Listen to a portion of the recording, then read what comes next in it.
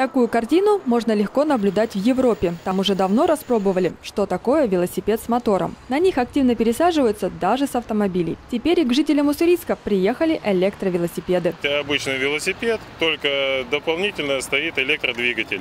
Если у вас не, не хватает сил уже ногами крутить, можно крутануть ручку газа и ехать на электротяге.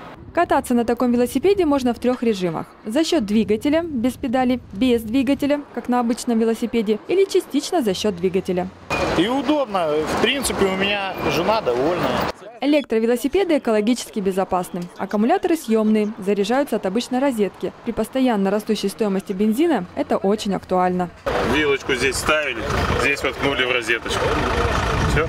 Велосипед с мотором – транспортное средство не только для пенсионеров. Их активно приобретают и молодые люди. Так удобно передвигаться по городу и нет проблем с парковкой.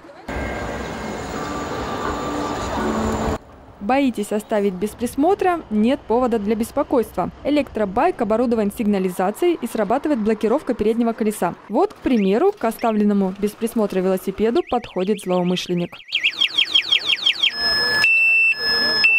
Электровелосипед развивает скорость до 40 км в час. Без подзарядки на нем можно проехать около 70 километров. Стоимость такого железного коня начинается от 20 тысяч рублей. Водитель этого транспортного средства в правилах равен водителю обычного велосипеда.